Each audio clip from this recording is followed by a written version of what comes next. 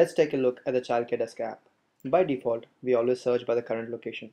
Here we see a list of childcare centers with the highest rating first. You can swipe at the bottom to see other centers. Now we will search for a childcare center near a particular zip code. Let's enter a zip code in New York City.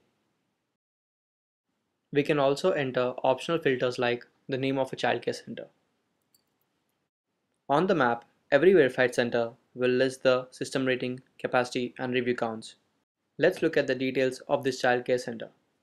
System ratings are based on the violations. Let's check them out. Parents can get notified about the availability at this childcare center via phone, SMS, or email. Parents can also rate or review this childcare center. They can also share this childcare center with their friends Looks like one of your friends has already rated this.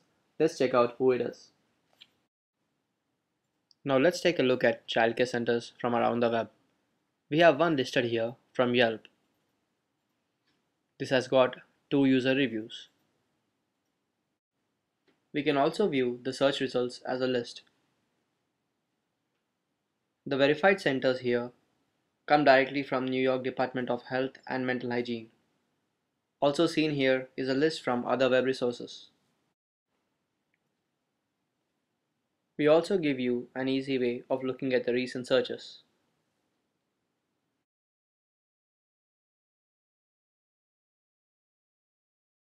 Now let's look at how we can search for childcare centers via text.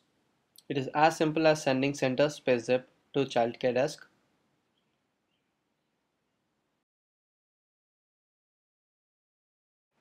The top two rated childcare centers in this zip are returned as results. Next, we will see how childcare centers can update their availability.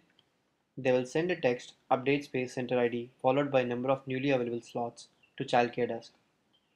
Please visit childcaredesk.com to stay updated. Thank you.